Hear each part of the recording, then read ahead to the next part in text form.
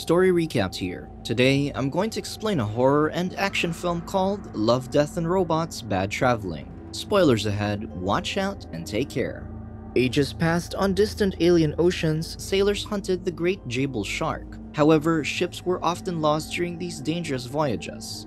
Thus, such vessels were said to have a bad traveling. One vessel treads the dangerous ebbs of the current at night when a thanapod, a giant crab-looking creature, attacks them from the leeward side. Thrown into chaos at the monstrous creature's attack, the crew takes various weapons and readies for attacks. But the thanapod easily overpowers them, throwing some crew members off the ship. When one tries to throw an axe at the thanapod, its hard shell easily deflects the blade. Thus, the thanapod grabs the sailor with its pincer before shoving him into its mouth much to the horror of the other crew members who soon meet the same fate. Just as the Thanapod drags a crew member named Turk, it retreats down to the ship's compartment. At the end of the catastrophe, Surt, their youngest crewmate, vomits. Though the immediate threat of danger is gone, the Thanapod resides within their ship, fully eliminating their safety. With their captain gone, Torrin, one crewmate, proposes a random process of choosing who checks on the creature by seeing who will draw the short stick, saying it's the fairest way to go about the situation. Torrin makes Surt go first, who luckily pulls out one of the longer sticks. Afterward, Melis goes forth to draw a stick for himself and his brother, Callus, who got injured in the attack.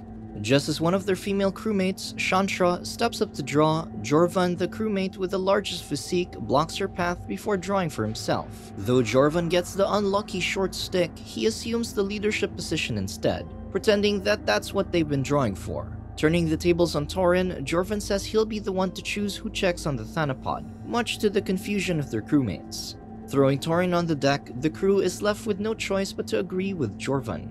After being outnumbered, Torrin willingly volunteers to check on the Thanapod, telling them that he'll report what he sees. They open the door for him to the compartment and Shantra hands him a sword for his defense. Trudging down the stairs in anxious fear, Torrin soon arrives downstairs and sees the Thanapod amidst the Jable sharks hanging from hooks. The humongous crustacean skitters straight to Torrin, so he runs away and throws the sword at the Thanapod. Fortunately, the creature is too wide to fit through the staircase, but it smashes into the wall strong enough to trip Torrin in his steps. Unable to reach for Torrin to become its next meal, the Thanapod takes out one of its victims, Turk, and attaches a part of itself to the halved corpse's body, allowing itself to use the corpse as a voice box. Through the corpse, the Thanapod is able to communicate with Torrin, asking him to sail to find an island so it can eat meat.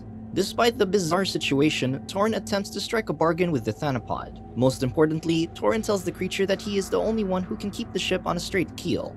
Thus, Torrin should be kept intact and unconsumed if the Thanapod wants to get to fight an island to eat meat. When Torrin says that, the Thanapod backs away in understanding, so Torrin gains the bravery to stand up and step closer, asking for one more thing. The Thanapod barfs out the insides of its previous victim so Torrin can fish through it and find a key. Later, Torrin finally gets back above deck where the rest of the crewmates wait for his arrival. When they ask for the updates, Torrin just walks past them without saying a word before he runs up to the captain's helm. Inside, he dives for a locked box underneath the bed, taking out a gun just as the rest catches up to him. Torrin points the gun at Jorvan before revealing that he was able to negotiate with the Thanapod. Thus, they must also negotiate with him now. Telling them to listen carefully, Torrin announces that the Thanapod speaks. Although Shantra finds it unbelievable, Torrin mentions that he has no patience to explain further rather than the fact that the Thanapod wants passage to Fiden Island, the nearest inhabited island. However, Jorvan points out that the Thanapod does what it pleases, still in disbelief that Torrin will be the only one to go against it. Torrin explains that if they transport the Thanapod to Fiden Island, then they have nothing to feed it because it has acquired a taste for human flesh. At the mention of that grim truth, Jorvan points toward the injured Callus, suggesting him as a meal for the Thanapod, saying he's already half done anyway. Right away, Melis stands in front of his brother in defense, asserting that Callus is half more alive than anyone else would be after pointing a crooked finger toward his brother. Torrin puts a stop to their argument, saying they all reside together in this misfortune. Although Shantra points out that the situation puts them right back where they started, Torrin agrees, saying they find themselves faced with a grim and terrible decision. However, Torrin turns to Jorvan, saying the decision has already been made. With everyone understanding Torrin's words, two crewmates drag Jorvan toward the ship's grate, throwing him for the Thanapod to feast on. Torrin lingers to watch the slaughter, ensuring that the greatest threat to his leadership is eliminated. As Torrin continues to spearhead the ship, he shows them the voyage toward Phaidon Island, but due to the wind's direction, it'll take them a day and a half to get there. However, Torrin reminds all of them that if they satisfy the Thanapod's demand, that will mean unleashing such a danger to the unsuspecting citizens of Phaidon Island. Thus, Torrin proposes another plan. Instead of taking the Thanapod to Phaidon, they can reroute and take the creature to a farther yet deserted island, hoping they can voyage there without the creature realizing. It's a plan that will help them save countless innocent lives. Noticing that no one else seems to support Torrin's alternate suggestion, he proposes to impose an anonymous ballot voting so everyone can choose which plan they prefer. Torrin tells them that a circle will indicate a vote towards sailing to the deserted island despite the risk, but an X means they wish to fulfill the creature's wish. As the voting begins, Torrin reminds them to let their conscience be their guide. After papers have filled the box, Torrin lets everyone wait for a moment while he checks the ballots. When he goes outside, he confesses to everyone that he marked the ballots with folded corners or irregular edges to make sure he could identify whose paper was whose once he handed them out. This allowed him to identify two cowards in their midst, those who would gladly betray a stranger if it meant saving their own skin. Pulling out his gun, Torrin makes Melis step to the side as he keeps his eyes on Surt. Closing his eyes shut, Surt waits for death by Torrin's gun. However, Torrin aims his gun on Melis instead, successfully using one bullet to take out both him and his brother, Callus, who's standing behind him. The brothers' dead bodies tumble down the stairs as Torrin explains that it was a necessary step because now they are united in spirit, goal, and purpose. With that, Torrin orders Superin to change their course toward the uninhabited island. Afterward, the crewmates throw Melis and Callus's bodies for the Thanapod as Torrin hopes that by doubling the meal, they can stall for double the time before they'd need to sacrifice another crewmate. While up in the crow's nest, Torrin surveys their voyage, unaware of the mutiny happening amidst the crew. Hearing something behind him, Torrin sees a man coming up to assassinate him with a knife. When Torrin catches him, pointing a gun toward the traitor, the man defends himself, saying the others made him do it. Before Torrin could shoot, the Thanapod raises Turk above deck through the grate, calling out to Torrin. Unable to do anything but follow the Thanapod's whims, Torrin goes downstairs, only for the creature to remind him about Phaidon Island. Though Torrin tries to tell the Thanapod to be patient, he notices skittering tiny Thanapod babies scattered around. The Thanapod asserts that they're hungry and must eat soon, and horror falls upon Torin's face as he realizes that there are many mouths to feed.